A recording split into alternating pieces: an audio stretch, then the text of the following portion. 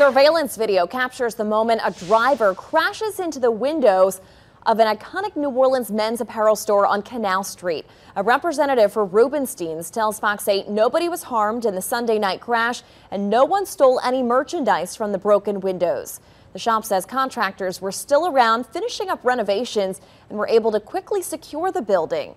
Aside from construction on Canal Street and awaiting the replacement glass from the crash, Rubenstein's is open for business.